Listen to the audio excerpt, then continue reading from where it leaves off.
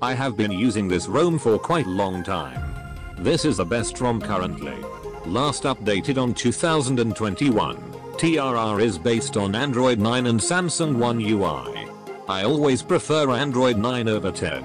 11 as 9 is suitable for all-round performance in J7. You will always get the game launcher app which in my opinion is the real deal. You can play PUBG Mobile at 30 FPS constant with the game launcher and without it, it will be in 15 to 20 FPS. Also this ROM have really good battery backup. Also you can switch modes of the device like balance, performance, battery or gaming. You also get inbuilt screen recorder with in-game sounds and Dolby Atmos. You can flash it easily using TWRP. If you guys want more info about this ROM make sure to let me know in the comments below. Thanks for watching.